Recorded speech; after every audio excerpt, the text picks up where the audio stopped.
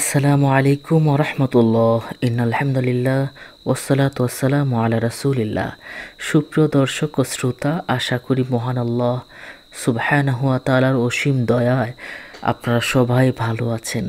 প্রিয় দর্শক, আল্লাহ পাক রব্বুল আলমিনের একটি গুণবাচক, চমৎকার একটি নাম হলো ইয়া লতিফু। অর্থ হলো হে কোমল অন্তকরণময়। এভাবে আল্লাহ পাক রব্বুল আলমিনের নিরানব্বইটি নাম রয়েছে। প্রতিটি নামেরই আলাদা আলাদা ফজিলত রয়েছে। আল্লাহ পাক রব্বুল আলমিন এই নামসমূহ নিয়ে বলেছেন, ওয়ালিল্লাহিল আসমা উল হোসনা ফাদহু বিহা।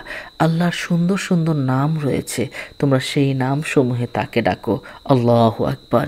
আর রাসুল্লাহ সাল্লাহ আলি সাল্লাম তো নিজে বলেই দিয়েছেন, যে ব্যক্তি আল্লাহর নামের জিকির করবে, আল্লাহ পাক রব্বুল আলামিন তাকে জান্নাতে প্রবেশ করাবেন। সুবহান আল্লাহ প্রিয় দর্শক, আসুন আমরা ইয়া লতিফু নামের আমল জেনে নেই।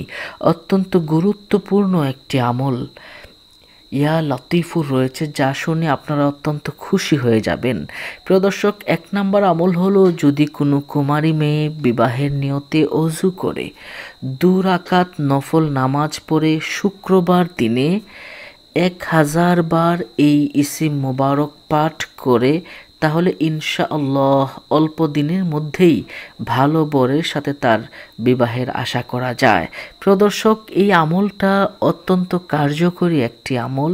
এই আমলটা যদি আপনি সঠিকভাবে করতে চান, আশা করা যায় বিশ দিন অথবা চল্লিশ দিনের ভিতরেই আপনার ভালো বিবাহের পয়গাম আসবেই।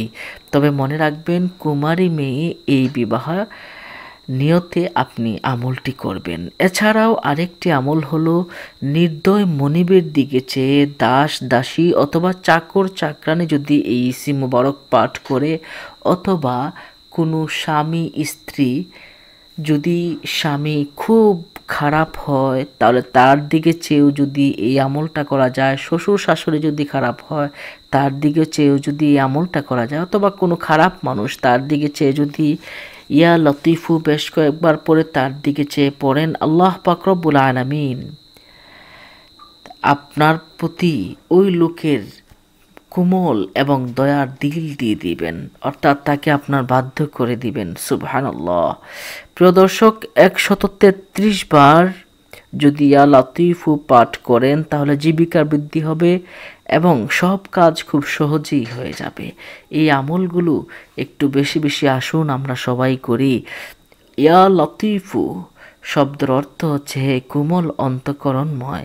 এই নামটি আপনি বেশি বেশি পড়ুন, এই নিয়মে, সঠিক নিয়মে পড়ুন এবং এই কাজগুলোর কারণেই আপনি পড়ুন। ইনশাআল্লাহ আল্লাহ পাকের নামের উসিলা আল্লাহ পাক সঠিক পথ আপনাকে দেখাবেনি